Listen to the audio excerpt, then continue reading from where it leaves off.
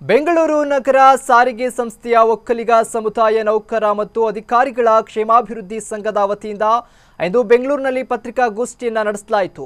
ಪ್ರತಿ ವರ್ಷದಂತೆ ಈ ವರ್ಷವೂ ಸಹ ಸಂಘದ ವತಿಯಿಂದ ನಾಡಪ್ರಭು ಕೆಂಪೇಗೌಡ ಜಯಂತಿಯ ಮತ್ತು ಸಂಘದ ವಾರ್ಷಿಕೋತ್ಸವವನ್ನು ಆಗಸ್ಟ್ ಮೂರರ ಶನಿವಾರದಂದು ಶಾಂತಿನಗರದ ಬೆಂಗಳೂರು ಮಹಾನಗರ ಸಾರಿಗೆ ಸಂಸ್ಥೆ ಕೇಂದ್ರ ಕಚೇರಿ ಆವರಣದಲ್ಲಿ ಆಚರಿಸ್ತಾ ಇದ್ದು, ಇಂತಹ ಒಂದು ಮಹತ್ವಪೂರ್ಣ ಜಯಂತಿ ಆಚರಣೆಯೆಂದು ಸಂಘದ ವತಿಯಿಂದ ಸಾಮಾಜಿಕ ಕಳಕಳಿಯನ್ನು ಹೊಂದಿ ನಿಸ್ವಾರ್ಥ ಸಮಾಜ ಸೇವೆಯನ್ನು ಮಾಡುತ್ತಿರುವಂತಹ ಗಣ್ಯರಿಗೆ ಯುವಕ ಆಶಾ ಕಿರಣ ಪ್ರಶಸ್ತಿಯನ್ನ ಸಹ ನೀಡಲಾಗ್ತಾ ಇದೆ ಅಂತ ತಿಳಿಸಲಾಯಿತು. ಈ ಸಂದರ್ಭದಲ್ಲಿ ಉದಯ್ ಕುಮಾರ್ ಜಿಎಸ್ ಚನ್ನಕೇಶವ್ ಸೇರಿದಂತೆ ಪ್ರಮುಖರು ಹಾಜರಿದ್ದರು.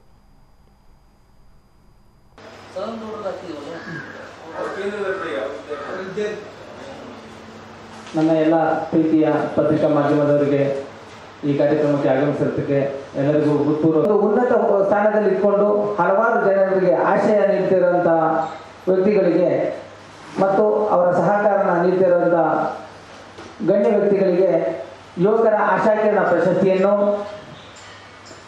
ಮತ್ತು ಸಮು, ಸಮುದಾಯದ ಹಿತದೃಷ್ಟಿಯಿಂದ ಮತ್ತು ನಾಡಪ್ರಭು ಕೆಂಪೇಗೌಡರ ಬಗ್ಗೆ ಹಲವಾರು ಪುಸ್ತಕಗಳನ್ನು ಬರೆದಿರ್ತಕ್ಕಂಥ ಮತ್ತು ಸ, ಕೆಂಪೇಗೌಡರ ಬಗ್ಗೆ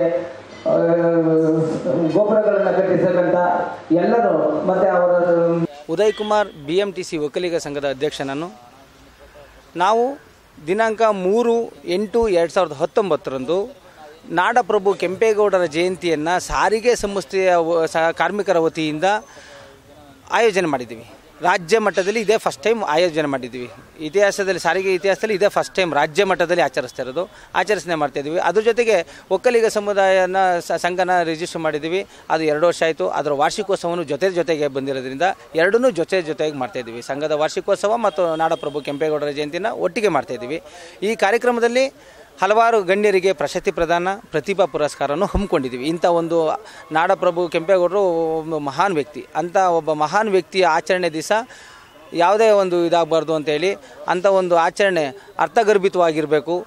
ಅದನ್ನು ಇನ್ನೂ ಜನ ಸ್ಪಂದಿಸಬೇಕು ಅಂದರೆ ನಾವು ಈ ಥರ ಒಂದು ಹಲವಾರು ಗಣ್ಯರಿಗೆ ಪ್ರಶಸ್ತಿಗಳನ್ನ ಆ ಸಂದರ್ಭದಲ್ಲಿ ನೀಡೋದ್ರಿಂದ ಮತ್ತು ಪ್ರತಿಭಾ ಪುರಸ್ಕಾರಗಳನ್ನ ನೀಡೋದ್ರಿಂದ ಆ ಯುವ ಪೀಳಿಗೆ ಯಾವಾಗಲೂ ನೆನ್ಕೊಳ್ಳುತ್ತೆ ಇಂಥ ಒಂದು ಕಾರ್ಯಕ್ರಮದಲ್ಲಿ ನಮ್ಗೆ ಹಿಂಗೆ ಗುರುತಿಸಿದ್ರು ಅಂತ. ಆ ಒಂದು ಧ್ಯೇಯ ದೋಷ ಇಟ್ಕೊಂಡು ಈ ಕಾರ್ಯಕ್ರಮನ ಮಾಡ್ತಾಯಿದ್ದೀವಿ ಆ ದಿನ ದಯಮಾಡಿ ತಾವೆಲ್ಲರೂ ಕಾರ್ಯಕ್ರಮಕ್ಕೆ ಹಾಜರಾಗಿ ನಮಗೆ ಆ ಕಾರ್ಯಕ್ರಮನ ಯಶಸ್ಸಿಗೆ ನೀವೆಲ್ಲ ಸಹಕಾರ ಕೇಳಬೇಕು, ಕೊಡಬೇಕು ಅಂತ ಹೇಳಿ ಕೇಳ್ಕೊಳ್ತಾ ಇದ್ದೀವಿ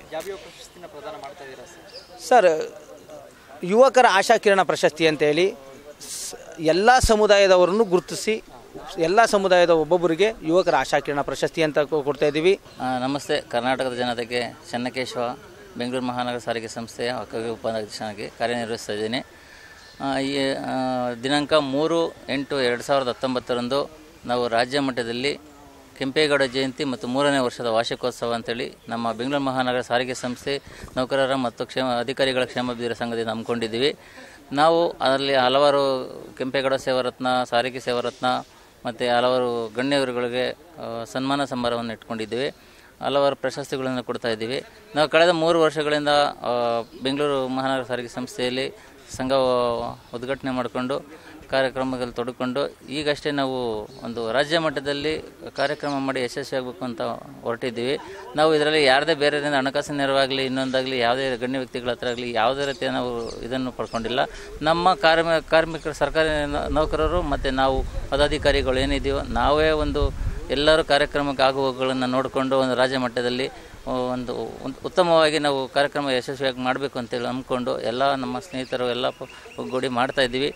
ನಾವು ಹಾಗೆ ನಮ್ಮ ಸಾರಿಗೆ ನೌಕರರ ಮಕ್ಕಳು ತೊಂಬತ್ತು, ತೊಂಬತ್ತೈದು, ತೊಂಬತ್ತೆಂಟು ಪರ್ಸೆಂಟ್ ಅಂತೆಲ್ಲ ತೆಗೆದಿದ್ದಾರೆ. ಬೇರೆಯವರು ಲಕ್ಷಾಂತರ ರೂಪಾಯಿ ಡೊನೇಷನ್ ಕಟ್ಟಿ ಹೊಸ ಓದ್ಸರ ಮಕ್ಕಳು ಮಾತ್ರ ತೆಗಿದ್ದಾರೆ ಮಾರ್ಕ್ಸ್ ಅಂತ ಇಲ್ಲ ನಮ್ಮಲ್ಲಿ ಡ್ರೈವರು ಚಾಲಕರಂಥ ಮಕ್ಕಳನ್ನು ತೊಂಬತ್ತೆಂಟು ನೈಂಟಿ ಏಯ್ಟ್ ಪಾಯಿಂಟ್ ಫೈವ್ ಆ ಥರ ಎಲ್ಲ ಮಾರ್ಕ್ಸ್ ತೆಗೆದಿದ್ದಾರೆ. ಅಂಥ ಅಂಥ ಪ್ರತಿಭಾವಂತ ಮಕ್ಕಳಿಗೆ ನಾವು ಪ್ರತಿಭಾ ಪುರಸ್ಕಾರ ಅಂತ ಹೇಳ್ಬಿಟ್ಟು ಒಂದು ಇಪ್ಪತ್ತೈದು ಜನ ಮಕ್ಕಳಿಗೆ ಕೊಡ್ತಾ ಇದ್ದೀವಿ.